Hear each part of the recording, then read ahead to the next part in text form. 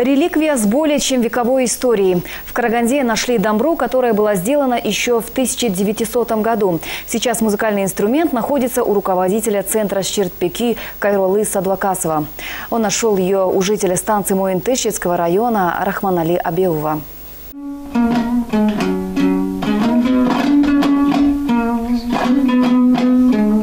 Эта старенькая домбра долгие годы бережно хранилась в семье Рахманали Абеова. С его слов, более века назад его дедушка заказал домбру у народных умельцев из Каркаролинского района.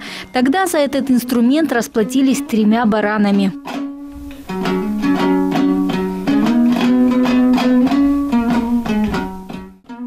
1932 году Домбра перешла по наследству отцу Рахманале Ажарбеку Абеову. С тех пор ее берегли как зеницу ока и передавали по семейной линии.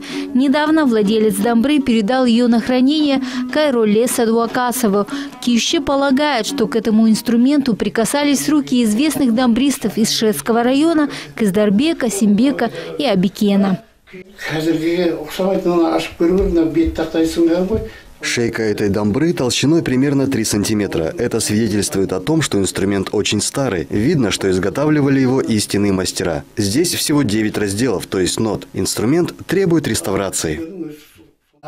Домбра почти полностью цельная, то есть высечена из дерева. Лишь крышку прибили гвоздями. Нынешние инструменты обычно склеивают из мелких частей, а затем покрывают лаком. Это негативно отражается на звучании домбры. Также есть отличия и в струнах. Раньше их делали из кишок козы, а сейчас используют леску.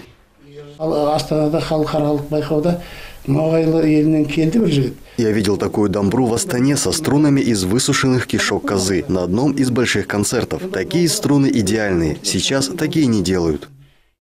В доме Кайролы Агай это не единственная реликвия. У музыканта есть еще одна домбра с такой же более вековой историей.